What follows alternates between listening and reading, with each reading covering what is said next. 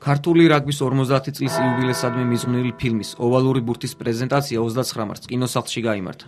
ფილმის რეჟისორი გოგი თორაძია, სცენარის ავტორები აკაკი გიმრაძე და მიხეილ ბასინოვი. გადაღებები სამი თვის განმავლობაში მიმდინარეობდა და მასში ასახულია ქართული რაგბის ისტორია დაარსებიდან დღემდე. ოვალურ ბურთში გამოყენებულია როგორც დღევანდელი, ასევე საარქივო მასალა, რომელსაც მაყურებელი პირველად ამ ფილმში იხილავს.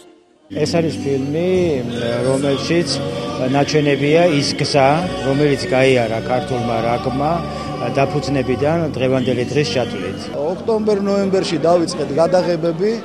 ძალიან დიდხანს ვეძებეთ არქივო მასალა მოგეხსენებათ. ძალიან გაფანტული იყო, მაგრამ აი გოგი მოახერხა ეს ყველაფერი. გოგი თორაძის მიერ გადაღებული ფილმის პრემიერას ვეტერანი და მოქმედი მორაგბეები დაესწრნენ.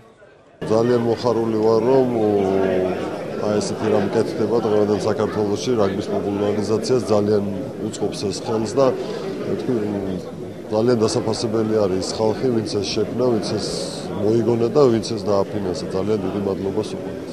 აი ეს ფილმი რაც გადაიღო რეჟისორმა შეიძლება დიდი მასში არ არის, მაგრამ ყველაფერი ლამაზად არის მოქცეული და რაგბის ის ყველა ასე ვთქვათ, ნიშნულოვანი ეტაპი, ასე ვთქვათ, უკვე ვნახეთ და ვიხილეთ. ფილმში ასახულია ქართული რაგბის ყველაზე ლამაზი და დასამახსოვრებელი მომენტები. ოვალური ბურთის ერთ-ერთი ბოლო კადრი დავით ზირაქაშვილის მიერ დადებული ლელოა, რომელიც მათ ტრაბზონში რუსეთის ეროვნულ ნაკრებს დაუდგა.